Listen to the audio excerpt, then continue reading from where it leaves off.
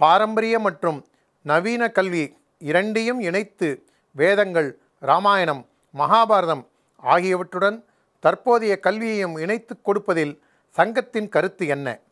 உயர்கல்வியின் தரம் தொடர்ந்து சரிந்து கொண்டே இருக்கிறது. எதிர்காலத்தில் பாரதம் எவ்வாறு உருவாகும்? அதாவது தரம்பால் அவர்களுடைய புத்தகங்களை நீங்கள் படித்தால் உங்களுக்கே புரியும்.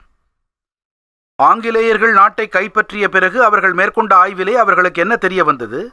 பாரம்பரியமாகவே நமது கல்வி முறை அதிக வல்லமை உடையதாகவும் அதிக மக்களுக்கு எழுத்தறிவிப்பதிலும் மனிதனாக ஆக்குவதாகவும் தங்களுடைய வாழ்வை தாங்களே நிர்வகிக்க உகந்ததாய் ஆக்குவதாகவும் இருந்தது.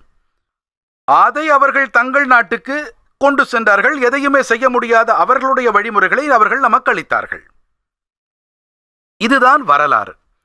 ஆகையினாலே இன்றைய நவீன கல்வி முறையின்படி எது ஏற்க உகந்ததோ அவற்றை மட்டும் எடுத்துக்கொண்டு நமக்கென நம் பாரம்பரியத்தை ஒட்டிய ஒரு புதிய கல்விக் கொள்கையை ஏற்படுத்திக் கொள்ள வேண்டும்.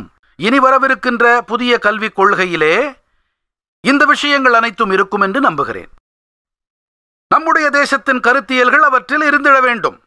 சதுர்வேதாக புராணானி சர்வோபனிஷதஸ்ததா. ராமாயணம் பாரதஞ்ச கீதா ஷட் தர்ஷனானி ச ஜைனாகமாக திரிபிட்டகாக குரு கிரந்த சதாங்கிராய அதாவது துறவிகளின் கூற்று. இவையெல்லாம் ஞான நிதி களஞ்சியங்கள். இவை பாரதத்தின் கல்வி முறையில் இருக்க வேண்டும் அனைவருக்கும் கிடைக்க வேண்டும். மேலும் சில பாரம்பரியங்கள் இருக்கின்றன வெளியில் இருந்து வந்தவை நல்ல எண்ணிக்கையில் இருக்கிறார்கள். அவற்றில் இருக்கும் முக்கியமான உபதேசங்கள் அவற்றை தெரிவிக்க வேண்டும். சமய கல்வியை நாம் அளிக்க தேவையில்லை. ஆனால் கண்ணூட்டம் அடிப்படை உபதேசம் என்ற நோக்கிலே மேலும் அவற்றிலிருந்து வெளிப்படும் நற்பண்புகள் என்ற நோக்கிலே இவை அனைத்தும் பற்றிய கற்கை கல்வி கற்பித்தல் நமது கல்வி முறையிலே தேசத்தின் கல்வி நாட்டின் கல்வி என்ற வகையிலே இன்றியமையாதவை. இதுதான் சங்கத்தின் கருத்து. கல்வித்தரம் வீழ்ச்சியடைந்து வருகிறது என்று சொல்லப்படுகிறது. இங்கே கல்வியின் தரத்தில் வீழ்ச்சி ஏற்படவில்லை. கல்வி அளிப்பவர்களின் தரத்தில் வீழ்ச்சி ஏற்பட்டு வருகிறது. பயில்பவர்களின் தரத்தில் வீழ்ச்சி. மாணவன் கல்வி பயில வருகிறாரா? அல்லது தனது வாழ்க்கையில் நல்ல வருமானத்தை ஈட்ட அதற்கு தேவையான பட்டப்படிப்பு வேண்டி வருகிறாரா? அவரை நாம் வீட்டில் எப்படி தயார் செய்கிறோம்? ஒரு பெரிய மனிதரை பூனாவில் சந்தித்தேன். பெரிய மனிதர் என்றால் செயல்திறன் மிக்க ஒரு மனிதர். அவர் சரியாக எழுத படிக்காததால் படிப்பிலிருந்து நீக்கி அவரது தந்தையார் அவரை சத்தாராவிலிருந்து பூனாவுக்கு அனுப்பிவிட்டார். அங்கே அவர் ஒரு அச்சகத்தில் வேலை பார்க்க தொடங்கினார். வேலை பார்த்து கொண்டிருக்கும் போது அவர் மனதில் ஒன்று தோன்றியது. உடனே அவர் ஒரு விளம்பர நிறுவனத்தை ஆரம்பித்தார். கூடவே அவர் கல்வியிலும் கூட முதுகலை படிப்பை நிறைவு செய்தார். இன்று அவரது நிலைமை என்னவென்று பார்த்தால் அவரிடம் முன்னணி விளம்பர நிறுவனம் இருக்கிறது.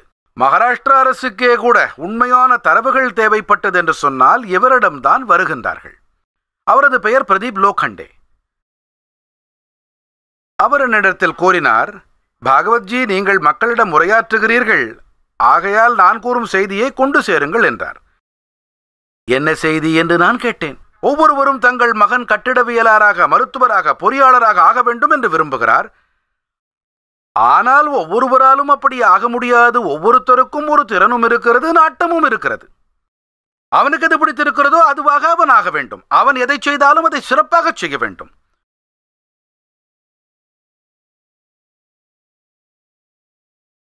திலகருடைய மகன் தான் ஒன்றை செய்ய விரும்புவதாக தெரிவித்தார். இதற்கு திலகர் அவருக்கு கடிதம் எழுதினார். வாழ்க்கையில் என்ன படிக்க வேண்டும் என்பதை நீ முடிவு செய்து கொள். செருப்புகளை தைக்கும் தொழிலை கற்க வேண்டும் என்று நீ முடிவு செய்தால் எனக்கு ஒன்றும் கவலை இல்லை. ஆனால் நினைவில் வைத்துக்கொள் உன்னால் தைக்கப்பட்ட காலணி எத்தனை சிறப்பாக இருக்க வேண்டும் என்றால் புனே நகரின் அனைவரும் என்ன சொல்ல வேண்டும் என்றால் காலணி வாங்க வேண்டுமென்றால் திலகருடைய மகனிடமிருந்து வாங்க வேண்டும் என்று நான் எதை கற்றுக்கொண்டிருக்கின்றேனோ அதை நான் சிறப்பாகச் செய்வேன் அருமையாகச் செய்வேன் அதன் சிறப்பில்தான் என் நற்பெயர் இருக்கிறது. இந்த உணர்வை முழுமையான வகையிலே மாணவர்களுக்கு பள்ளிகளிலும் வீடுகளிலும் ஏற்படுத்துகிறோமா? நாம் அவர்களை அதிகம் சம்பாதி அதிகம் சம்பாதி எப்படி வேண்டுமானாலும் சம்பாதி ஆனால் சம்பாதி. இந்த மந்திரத்தை அளித்தால் சிறப்பான ஆசிரியராக இருந்தாலும் உதவாது ஏனென்றால் அப்பா கூறியிருக்கிறார் வேறு ஒன்றை பெற வேண்டும் என்று தேசத்தின் மாணவர்களுடைய எதிர்காலத்தை நான் உருவாக்கி கொண்டிருக்கிறேன் என்று ஆசிரியருக்கு விழிப்புணர்வு இருக்கிறதா?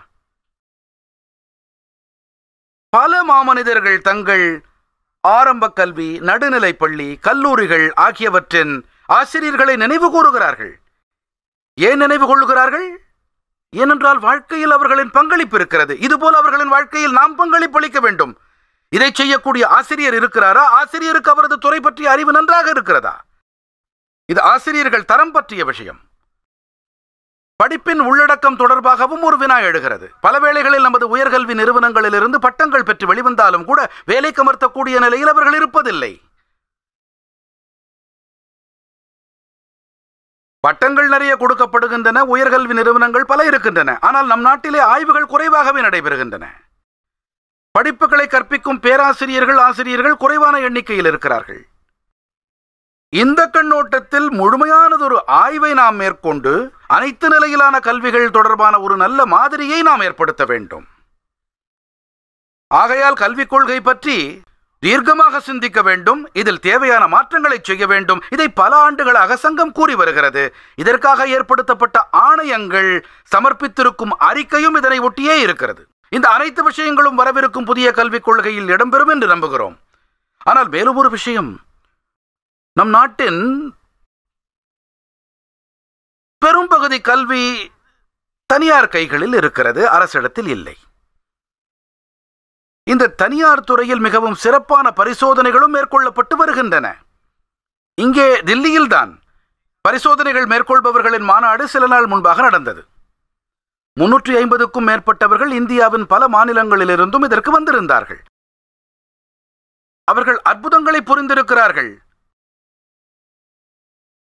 புதிய கொள்கை எப்போது வருமோ அது வந்து விட்டு போகட்டும். அதை பற்றி கவலைப்பட வேண்டிய அவசியம் நமக்கில்லை. கல்வி நிறுவனங்களிலே பணியாற்றுகின்றவர்கள் தங்கள் அதிகாரம் வரம்புகளுக்கு உட்பட்டு பரிசோதனைகள் மேற்கொண்டு கல்வியின் தரத்தில் மேம்பாடு ஏற்படுத்த முடியும். இப்படி நடந்தால் அரசின் கொள்கையுமே கூட இதனை ஒட்டி அமையும் என்ற நிலை ஏற்பட்டுவிடும். ஆகையால் அனைத்தையும் அரசின் தலைமீது போட்டுவிடாமல் நாமும் நம்முடைய பங்கிற்கு நம் முயற்சிகளை மேற்கொள்ள வேண்டும்.